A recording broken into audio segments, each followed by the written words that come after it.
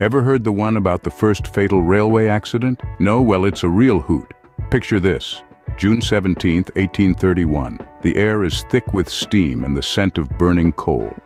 The best friend of Charleston, America's first passenger locomotive, is chugging along when suddenly, boom! The boiler explodes, and the first fatal railway accident in North American history is born. Or so the story goes. But here's the twist.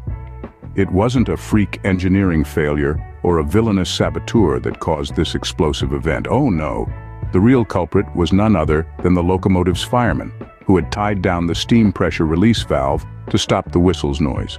Now, I'm no expert, but that's like trying to silence a kettle by plugging its spout. It's bound to end in a steamy disaster.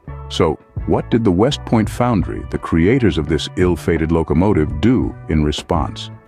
Did they engineer a safer boiler? Improve their safety protocols?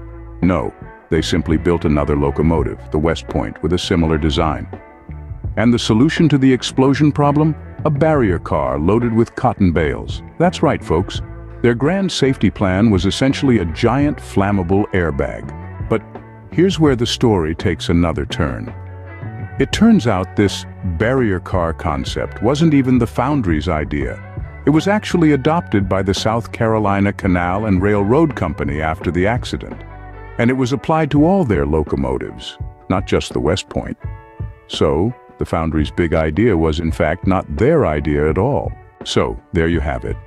The tale of America's first fatal railway accident. A story of steam, silence, and cotton bales. A tale where protection came in the form of fluffy plant fibers and where safety measures were, let's just say, less than effective.